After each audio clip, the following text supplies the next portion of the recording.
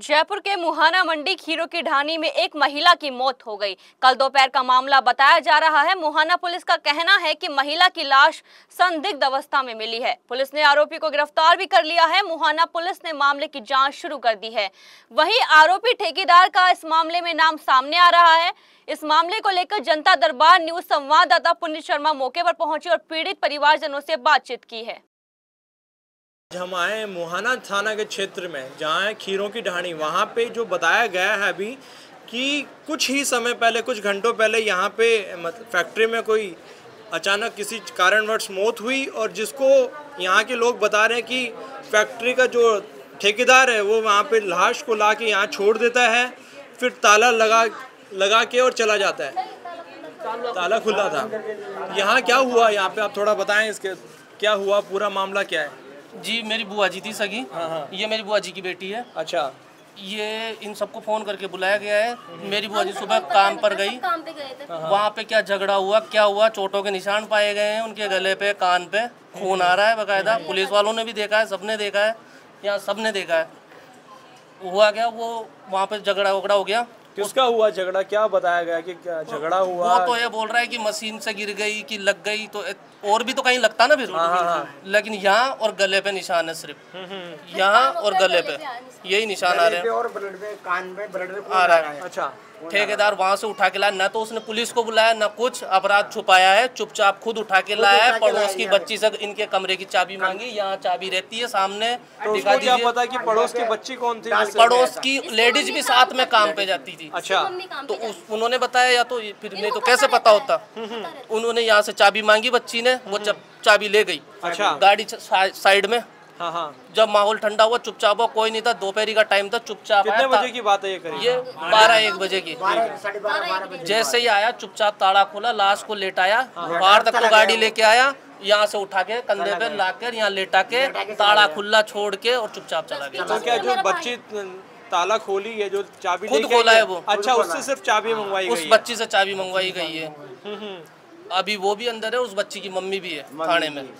तो और किसने देखा यहाँ पे को जब वो लास्ट दोपहरी दोपहर का टाइम सुन टाइम किसी ने नहीं हाँ, देखा धूप है किसी ने देखा नहीं है बच्चा अभी लेने आई थी इनसे बच्ची तो फिर पता कैसे चला कि अंदर ये कांड हुआ हुआ है फोन किया हमारे पास तो सब फोन आया मेरे भाई का फोन आया था भाई को बुलाया था कंपनी में से बोले गोलू तू जल्दी से विनोद जल्दी से आ जा हम्म। तेरी मम्मी की लग गई मशीन से अच्छा जी जो तो धीरे धीरे आया जो यहाँ पर पड़ी मिली मम्मी इसको तो वहाँ कंपनी में बुलाया यहाँ पे यहाँ पे घर पे घर पे हाँ। लग गई हाँ। जो इसको भी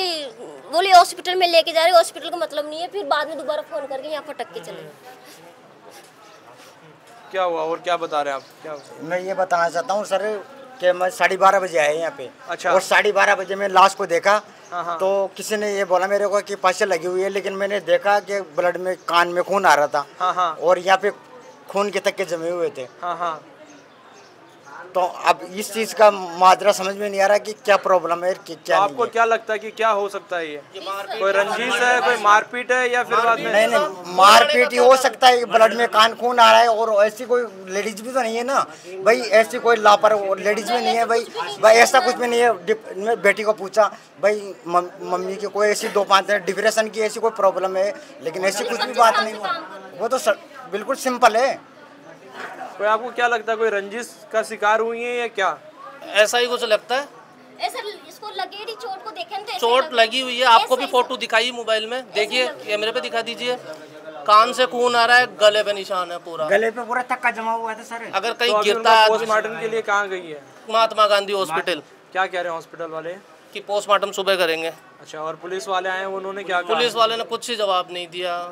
कुछ ही नहीं बोला कोई कार्रवाई नहीं कर कंपनी पे कोई नाम भी नहीं लिखा कंपनी का ना तो कोई नाम बता रहे हैं ना कंपनी वाला बता रहे हैं कोई तो बस वो ठेकेदार को उठा के यहाँ पे बेड सीटें बेड सीटों की प्रेस वगैरह कोई प्रेस पे है सर ये कौन सी कंपनी है कौन कोई कारखाना है छोटा मोटा अच्छा उस कारखाने की वारदात तो थाने भी ध्यान होने का प्रेस वालों कैसे पहुँचे कोई नाम तो होगा उसका सेठ ऐसे कंपनी चलाते हैं क्या नाम है सेठ का नाम भी नहीं जानते पुलिस वाले को नाम बताया है शरीफ लाल मेहता लाल मेहता पिता का नाम बताया सीताराम उसने ठेकेदार ने उसको हमने यहीं दबोचा है और पुलिस की गाड़ी में बिठवाया है तो आप लोगों को कब पता चला कि ठेकेदार नीचे निकल रहा है जब ने मोहल्ले ने बताया मोहल्ले ने बोला ये चीज़ तो कि ये ठेकेदार ठेकेदार चुपचाप खड़ा होकर फोन देख रहा था कुछ नहीं बोल रहा था तो वो बाद में आया है साहब जब अच्छा, हाँ, आप शरीफ बन के आया फिर बाद में लाश पटक हाँ, गया उसके बाद में शरीफ बन के आया अच्छा। फिर हमने पकड़ के पुलिस बुला के उसको बिठवाया पुलिस क्या कह रही कब तक तो कार्रवाई होने की उम्मीद पुलिस ने कोई जवाब नहीं दिया कोई जवाब नहीं दिया पुलिस ने आप देख रहे हैं जो विधानसभा में ये घटना हुई है वो विधानसभा भी किसी और की नहीं यहाँ के प्रदेश के सीएम भजनलाल शर्मा की है अब देखते हैं कि आगे क्या कार्रवाई होती है कैमरामैन मनीष कुमावत के साथ संवाददाता पुनीत शर्मा